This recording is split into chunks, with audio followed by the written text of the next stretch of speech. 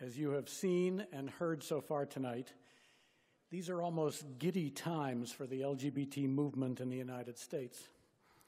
As Jennifer said earlier, many of the things we thought of as dreams only 15 years ago are coming to pass. Likewise, as she said, we are ready for some big new dreams for our community, for our movement, and for both our country and the world because we know things are not yet right and finished in our own country, and certainly not in many places around the world, as you got a glimpse of from John Wambere tonight. So, as we ponder whether a golden age for LGBT people is dawning in the U.S., I want to draw us back a moment to a real golden age in our movement, back to the 1970s and 1980s. A lot of people responsible for that heady time found themselves here in Boston. People like Michael Bronski, Kevin Cathcart, Cindy Patton, Richard Burns, Amy Hoffman, Eric Rofes, Mitzel, Cindy Rizzo, Charlie Shively, John Ward, GLAD's founder, and yes, our honoree tonight, Urvashi Vaid.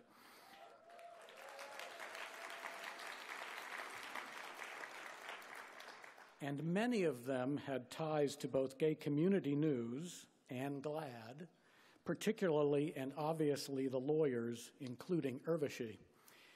It's really fun for me to recall those days in the early 80s when Urvashi, as a law student, was bringing some order to GLAD's early days as a full time Northeastern co op student, sitting in the sitting in the one room designated for GLAD in John Ward's law offices at Two Park Square.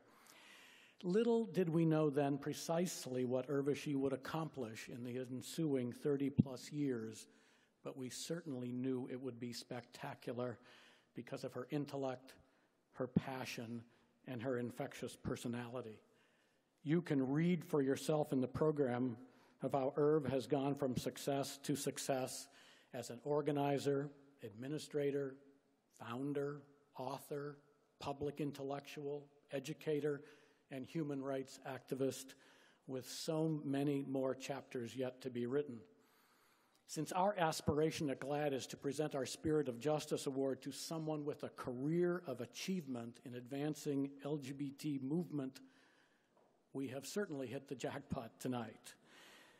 But I want to take a few moments that I have left to focus on what I think is a core strand of Urvashi's work and what I sense she has been trying to teach us in all her varied roles in our movement to date.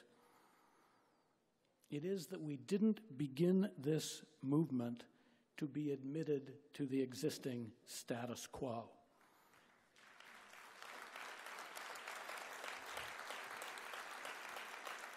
A status quo that frankly doesn't work to bring equality and justice and dignity to everyone, including so many people in the LGBT and HIV communities.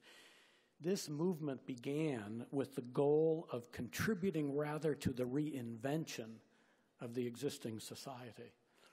In Urvashi's own words, one would think a movement emerging from sexual difference and sexually based prejudice would make a more overt effort to address and reinvent the underlying norms, arguments, and traditional ways of thinking used to uphold the status quo.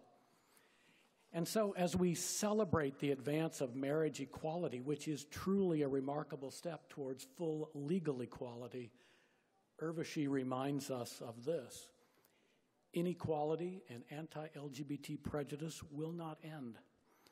LGBT people of color will still experience racial disparities. Bias, violence, and harassment of transgender persons will not have ended. In the short, while marriage equality may signal to many that same sex equality has been achieved, the work of the LGBT liberation movement will be far from finished.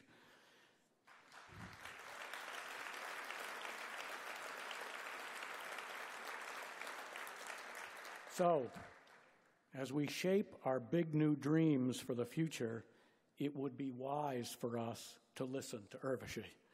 And so it is my privilege and great honor to present GLAD's 2014 Spirit of Justice Award to a woman from a golden age of our movement's beginnings who calls us to our better selves, our broader goals, and our deepest commitments in order to create a new golden age for everyone in our world. Urvashi Vaid.